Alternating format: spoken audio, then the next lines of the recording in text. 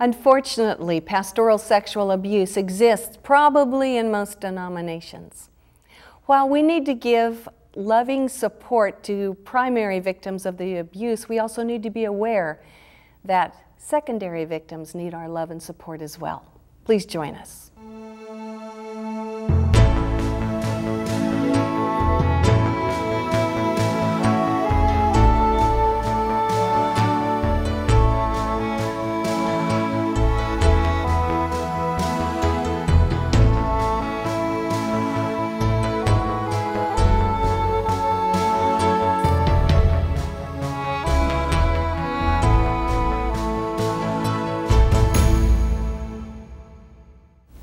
This is Time Out, and I'm Carolyn Sutton. My co host Patty Sandiford joins me in welcoming you to our program. Hi, Patty. Hey, Carolyn, good to see you again. Welcome back, viewers. And today we want to welcome back two special guests, Samantha and Steve Nelson from Thompsonville, Illinois. I don't think I've been there. It's, a long, it's the middle It's a of long way- nowhere. Out the Yes. middle of nowhere. but they are co-founders of Hope of Survivors. Uh, we're happy to have you with us today. Thank you. Thank you. Now, Steve, for those who weren't with us uh, last time, would you tell us a little bit about yourself? Yes, my wife and I started this ministry, the Hope of Survivors, in 2002 Okay. uh, to help victims and their spouses and families and churches of pastoral sexual misconduct. We started it primarily because when we were going through this, I went out on the internet and I was trying to find any resource mm-hmm. that I could just take and show to my wife and say, look, this is what's going on. And there just really wasn't much there at all. Mm-hmm. And so after we came through this, was just impressed, you know, maybe if we could just help one person, we could, we could, this ministry would be, be necessary. So we developed a website. And from that it grew. The one person came shortly after, and there's been many, many one persons since that time. Over 450 families, couples we've counseled with personally, 10,000 people roughly a month come to our website. That will And multiply it it has multiplied. Uh, we've become biblical counselors since that time, and, and God's taken us into other forms of ministry as well. Okay, that's exciting. Samantha's part of that. Is talking for Yes. Yeah. a counselor too. Yes, we both are. And Okay. um, I spend pretty much all day, every day at the computer, responding to people through email or on the phone. And beyond being a counselor, you have personal experience, testimony, Yes. which offers a lot. It does. It makes a big difference. Um, a lot of victims think that they're the only ones this has ever happened to. And so when they realize that, oh, someone else has gone through this, oh, you really do know how I feel, you know, they, Yeah. they're not alone and it's very helpful for them. Yes, it is. And, and since you have gone through this, you believe what they're saying. I'm just going to quick jump in here, if you don't mind, with a testimonial from uh, your April 2008 uh, e-newsletter, Hope Speak, the Hope of Survivors newsletter. This just touched me. It's from uh, uh, someone in New York. First of all, she said, I want to, I would love to thank you for taking time out of your busy day for me. You don't even know me. Yet you take time out to read my story and reply even. You assume I'm telling the truth and don't assume I'm making this up. I'm, I'm sure people mm-hmm. feel they're the only ones sometimes going through this. She continues, I wanted to tell someone for the longest time but feared no one would believe me.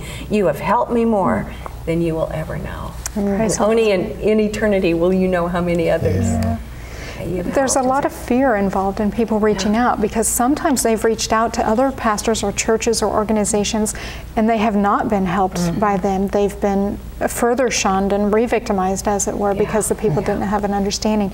So many people who reach out are very tentative, they're fearful. We have to earn their trust and be able to help them through with that. I'm sure some viewers uh, who are just now hearing kind of the tip of the iceberg what we're going to be covering today are wondering how to get in touch with you, what that website is, and although we're going to cover this information later, why don't you just go ahead and give it to us right now as well? The website is www.thehopeofsurvivors.com and Okay. the toll free phone number is 866 260 8958. Okay, and viewers, I just encourage you to go to that website. If you know anyone or you yourself are dealing with issues, these types of issues, there are just wonderful resources There's there. hope. There's even a link, isn't there, to a radio interview You had Yeah, in there's Australia? Radio, mm-hmm. yeah, there's radio and TV interviews. That's and, great. yeah, Okay. sermons, actually, that Steve has done for Abuse Prevention Day and things like that. Oh, mm-hmm. wonderful, wonderful. You shared last week that you were, uh, Samantha, the victim of pastoral sexual abuse. Mm-hmm. And uh, I'm just wondering if you could just summarize. We don't want to go back and visit the painful places any more than we have to, but just a thumbnail sketch, just uh, kind of how this uh, affected your life. And then we're going to be talking about uh, How it affects secondary victims in families today, too. It made a tremendous impact on my life. I had gone for counseling about abuse issues in the past, and then the pastor took advantage of that. Mm-hmm. And it was a long process of grooming and manipulation, and the power that was exerted over both me and my husband. Mm. Oh, you know, his he was very good at what he did, unfortunately. Um, but as devastating as that event was in our lives. Um, God was able to bring us through it and, and restore us God and give us good. hope. And I mean, we're just so blessed and so happy. Amen. So today we want to be talking about um, supporting the secondary victims Yes. families as well. There's more than just, I mean, the spouse is the primary secondary victim, Right. but there's also church members and extended family and yes. community That's members. and- right. I didn't think about that, but Yeah, unfortunately, uh, the church does uh, suffer a lot when a pastor has a, a moral fall because they too have put their trust in this spiritual leader. They too looked up to him, and that rightfully so, to expect him to have a level of uh, integrity that Yes. he uh, didn't maintain. And so they're devastated. We had a woman who came to us after our pastor had abused Samantha, and she told us she came to our office at the time, and she told us she she had been crying for weeks, mm. and she was just she just couldn't put the pieces together because it doesn't make sense. It's not one of those things that you can just say, okay, well, the car went in the street, and this car went that way, and they hit. Yeah. No, this is this is you know two one-way streets going the opposite direction. They never should collide. And all of a sudden, here's this incident that happens that it should never happen. But unfortunately, in today's world, we are seeing it happen all the time. And it's not just to children. Uh, we hear in the news a lot of children of a certain denomination. It's it's adult women. It- there's adult men even at times. So it's becoming um, a multiple problem. When Jesus said that our world would be like the days of Sodom and Gomorrah, Yes. we are seeing it. It's it's right there in our face, um, and it's happening far too often, unfortunately. you know, I just this discussion just bringing something back to my mind, and I had I hadn't. You're helping clarify it for me. There was a fall of a leader in a church position where I was attending once, and I remember after the fact, uh, another woman, just a secondary victim, a church member, going up to him and and just tears coming, you know, and and saying. I thought you stood for something. I thought you stood for something. Help me now. I, I- she said, and but I know you can't. You know, I don't know what to do with this. Yeah.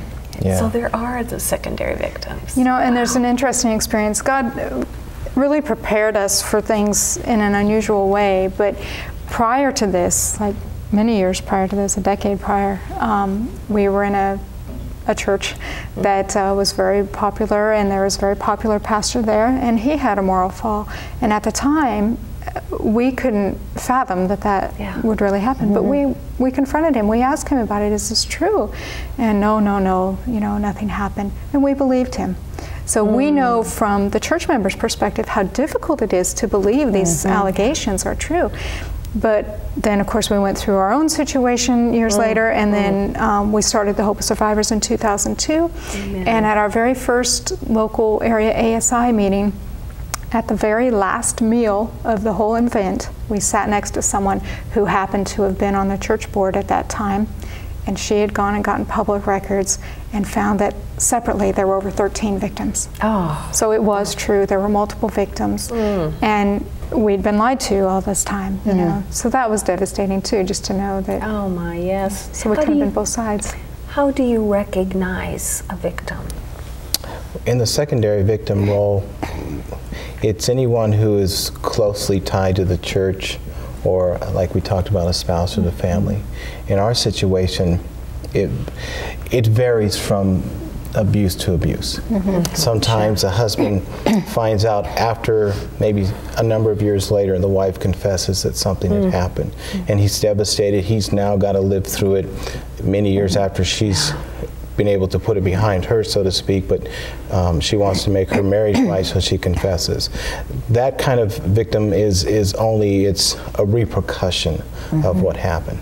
There's in our situation, um, our pastor was a friend of ours, mm. and so we had drawn drawn close to him. He was about 27, 27 years, years older than Samantha, so there was mm-hmm. this Oh, father Father. friendship mm-hmm. here, and uh, and you were close to him, We. I was close to him. We did a lot of things with his family, and he, at the time, we weren't as close to our own family. So there was that there was that void that he was filling for mm-hmm. us, and so as in my situation, growing up in the church, I had a high respect for those in ministry, Yes. and I could not myself process the fact that he could do this, even though I was watching him do things that were inappropriate. His manners of getting too close to, mm-hmm. to Samantha mm-hmm. and, and things in, in physical contact, not not publicly that I could see, mm-hmm. but physically too close. And, and he was always emailing and calling and those kind of things.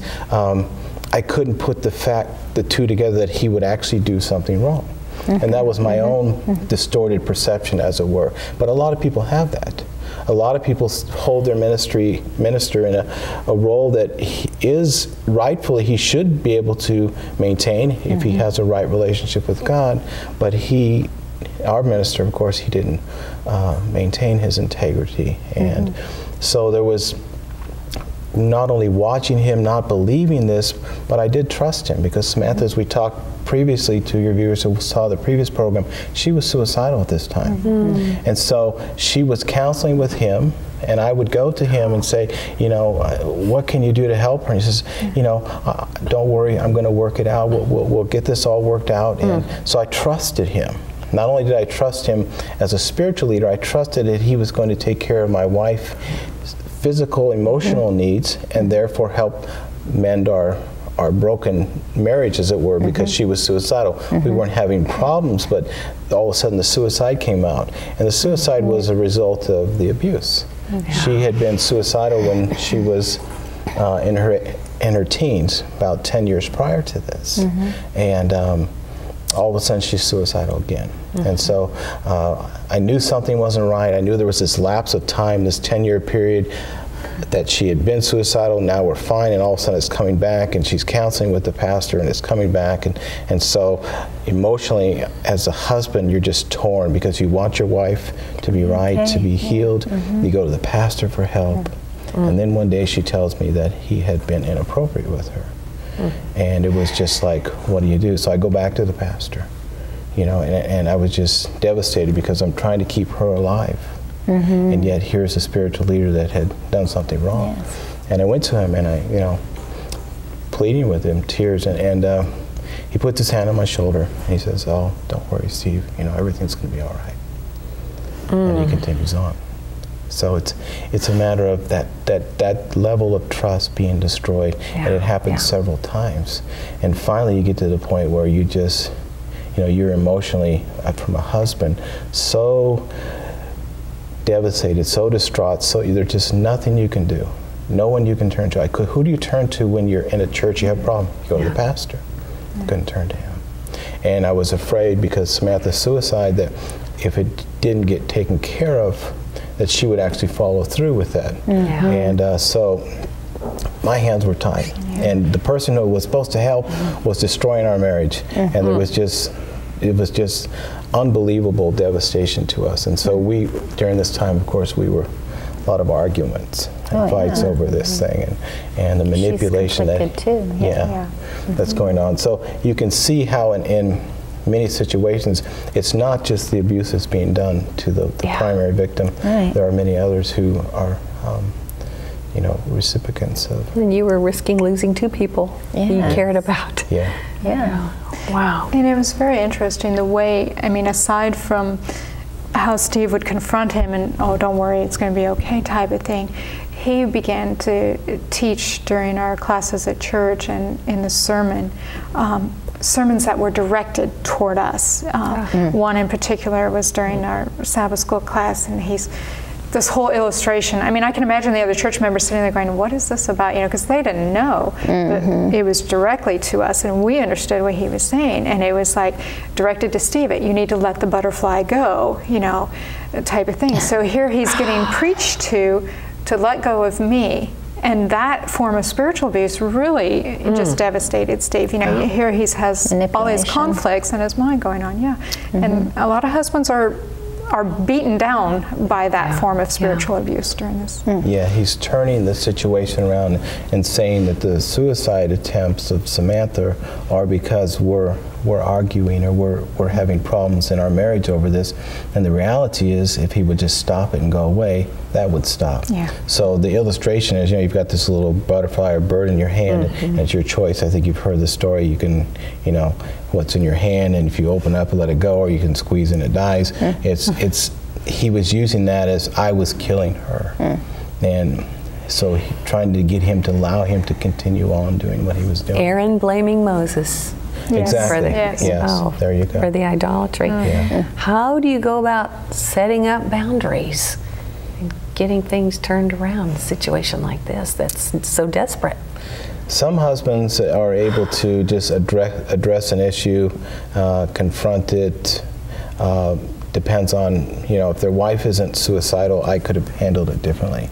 I would have gone to the church board and, and that would have been it, mm-hmm. you know. Um, but with her being suicidal, my primary concern was trying to get her to stay alive to where we could get mm-hmm. through this, mm-hmm. hoping that somehow she'd be able to see the truth and that you know he would stop, he'd realize what he had to lose because he was in the ministry for 25, 30 years and he had a, tremendous amount to lose, but he couldn't care. see that, he didn't care. And so he was at all costs was going to try to follow through. And he did lose his position, lost his ministry. Terrible devastation to the church, a tragedy to his family. Surely. Because they lost a mm-hmm. father who was a pastor, and, mm-hmm. and the, the wife lost tremendous, you know. Oh, her They're secondary position. victims too. right? Yeah, yeah. absolutely. So it's there's multiple victims, as it were, and we're not trying to paint everybody's a victim type thing, but there is emotional devastation that goes Other on people- here That's right. that people need to understand. You know what's happened, and this is why we talk about in the ministry. If you can address the issue honestly, and say that here's someone who didn't hold on to their integrity, didn't hold on to their relationship with Christ, let go and let the, let their eyes off Jesus, and that's the danger we all have. We, if we let our eyes off Jesus, got to focus in the wrong direction, um, what they have to lose, and it's, it's tremendous. The church loses. The the community looks at the church and says, "Boy, why do I want to be a Christian?" Mm-hmm. Because look what this guy's a Christian. He's a preacher. Mm-hmm. Shouldn't he be able to do the right thing? And mm-hmm. I don't do those things. People are saying. So why do I need, you know, to be a Christian? And what they don't realize is, without God's grace, every one of us has That's the right. potential That's because of our sinful nature to go Yeah. the wrong direction. Yep. Yeah. Would you ask about um, with boundaries? One of the things that church members, not all, but some Christians, tend to use the platitudes, oh, just forgive and forget it, move on type of thing. Mm-hmm. That cannot always be done and shouldn't be done that, shouldn't be said that way either. But um, one of the forms of healthy boundaries that we can do is you don't necessarily expect someone to forgive and continue a relationship with that person. While we have forgiven right. our former pastor, there will never be a relationship with him Reconciliation. as long as we're on this earth. I mean, we hope that he repents and in heaven, you know, Right. life will be different. Yes. But on this mm-hmm. earth, there will never be a relationship, mm-hmm. you know. Yes. So setting healthy boundaries doesn't mean that there's a lack of forgiveness involved. Right. And I want to That's clarify that too with her. Yeah. This is something the church needs to understand. Mm-hmm. Yeah. Because the church goes through this and they say, they're devastated. They say, yeah, can't we just forgive and forget and move on, like That's you were right. saying? But the reality is, you cannot expect the, the person who's been the victim to be able to worship God in that church with That's that right. pastor That's right. and receive a spiritual food. First of all, he can't give it to them. Right. Mm-hmm. He's already violated that sacred trust. Mm-hmm. He's violated his ability to minister to them. Mm-hmm. And so the consequences of his actions, right. unfortunately, you know, we, we're all told there's consequences, but I was just in my brain. I was going to say there are consequences That's to the right. things that we do wrong. So we have to expect that forgiveness doesn't mean that you don't, you know, experience the consequences yourself. yes, of exactly. what And choices that's- you've made. That's exactly right, and people need to understand that more than anything else. We often see people, they, they just want their world to get back to be okay. Mm-hmm. They're willing to, to compromise anything just to say it's okay. Mm-hmm. And, and it doesn't matter, and they, they use it, well, we all make mistakes. It's not a mistake here. This is a, a position that if you were a, robbed a bank as a teller, Yeah. you would never be able to allowed to work in a bank again. Mm-hmm. As a doctor, you know, there's there's there's analogies we use in our our mm-hmm. materials. If a doctor Yeah, purposefully absolutely. decided that was in his best interest mm-hmm. financially to make you sick, mm-hmm. and so he prescribes medicine that's going to keep you sick because he can keep you coming to him and he's going to make money off of you. If, if that was true and he purposefully did that. He would no longer be allowed to practice Right. medicine. Shouldn't be. Well, this is the same thing because this mm-hmm. in this situation is purposely It's taking his job done and misusing to misuse his role. authority to mm-hmm. keep you mm-hmm. spiritually sick or make you Yes. spiritually sick. And so the consequences have to follow the That's actions. Yes, they do. Yeah, with anything. I mean, illnesses in life. You know, you do something. It doesn't necessarily erase. Right. You No. know, behaviors that we do don't necessarily erase the illnesses that result, but Right. God forgives. Yes. That's Right. So. And, and that's biblical because, um, yes, David uh, seduced Bathsheba, and yes, he was a man after God's own heart. But that was Af- after he got things right with God Repentance, again. And right. yes, he had to pay fourfold, Yes. loss of Of four sons as a consequences. Yes. result. Yes. And uh, and David again too setting those boundaries.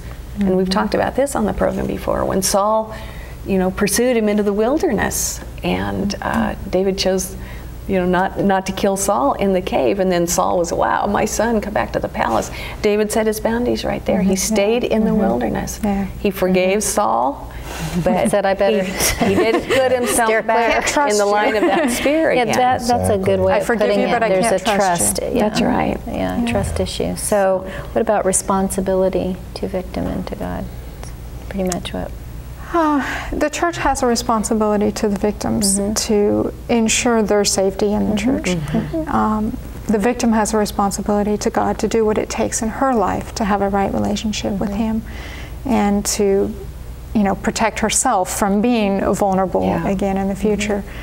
Um, You know, the church also has a responsibility to God. yes. Yes. And when they keep a pastor on who's had a moral fall, they are neglecting their responsibility to God. And what they're really saying is, and the Bible says, if Jesus says, if you've loved your father, mother, brother, sister more than me, you're not worthy of me. They're really saying, my relationship to you, my attachment to you is higher than my uh, respect or my love for God.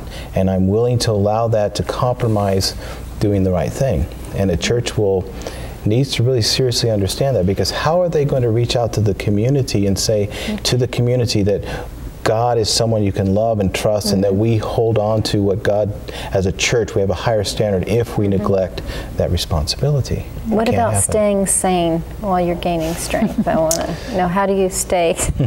How do you keep from going insane? yeah. well, you know, that's a very interesting uh, question because um, in our own situation, there was a level of insanity, we'll call it, because when someone's trying to commit suicide, their mind is being influenced in a wrong direction. And that insanity or that influence pay, plays itself over to the husband too. And our it's hard to picture us sitting here calmly talking to you, but we had some pretty bad arguments and some heated discussions. And, and you know, um, I remember coming home at times when I would leave, just I had to get away, just couldn't deal with it. And God would tell me, you need to go home. And I'd go home and, and find Samantha trying to, to cut her wrist or something like that. Hmm. So the insanity was pretty high. Hmm. Um, the only way is reaching out to God. Amen. Because if you try to pull from your own self, you're not able to handle the situation. If you were, you could fix it. But when you reach out to God and you sincerely take hold of Him, um, there's a quote a one writer puts, it's a favorite quote of mine. He says, Not a sigh is breathed, not a pain is felt, Not a grief pierces the soul, but the throb vibrates to the Father's heart. Mm-hmm. Whatever your pain is goes directly to the heart of God. He's watching, He's waiting to, to help you, but you've got to be able to reach out to Him. And when you do that, I believe it puts in action things that He can do to now turn about the circumstances. And that's what He did in our life. Mm. Um, it's only as we reach out to Him. Amen. You know, our time's getting awfully short, but I'm sure there are families out there dealing with issues or the repercussions of choices other people have made. Uh, would you be willing, Steve, just to have a really brief prayer for them? Yes. Thanks. Our dear Father, Lord, we come to you asking, even at this moment in time, if there's someone who's watching this program or knows of someone, Lord, that we are going to intercede for them. In behalf of them, we pray that you will, through the power of your Holy Spirit and through the blood that Jesus shed on Calvary, deliver them, Father, from the pain of this devastation. Send your Spirit in, Father, right now to drive back the demonic forces that are trying to destroy their lives, Father. Place a hedge of protection around their lives. And Father, I pray foremost that your Holy Spirit will come into their minds, that you will give them the knowledge and the wisdom and the peace that they need, and that they will take hold of you, Father. And in that hand of faith, I pray that you will deliver them, give them hope, and reestablish them in the joy of your salvation. I pray in Jesus' name. Amen. Amen. One more time, in the brief time we have, you have some amazing uh, resources that are they? viewers can get uh, real quickly, We what have- they are and where they can get them. We have the book, we have DVDs available on the website, we have a set of brochures that covers, you know, what the church can do, a brochure for pastors, for adult victims, for youth, one that talks about the ministry, one that's just a general overview. Let's give the website again. www.thehopeofsurvivors.com. thehopeofsurvivors.com. Okay, and you're available to give presentations, Yes. seminars for churches, organizations, and events through the same website? Yes. Okay, Donations. Donations through the same website? And if they contact us, we, we do peer counseling with them. Okay. Um, and we will be able, available to help them, those who need help. That's great. Amen. All Well, right. we appreciate again so much you guys being here. We have two more Thank you. I'm so we glad. can hardly wait to get into it. It's, it's just so great to have people who can, you know, sit here, relate, and help others because we just know there's so many out there because we hear about them and what a difference. So we thank you for being here today, Thank willing you. to share and take Thank this time with us. Oh, us. yes, thank you so much. It's exciting to see you on the other side and Praise God. giving a helping hand to others. An awesome testimony. So, Samantha and Steve Nelson, Patty Sandifer, thank you all. Viewers, thank you for being with us as well. We know you're going to be here next week with us, but between now and then, take some time out to ask God how you can help facilitate healing in someone else's life.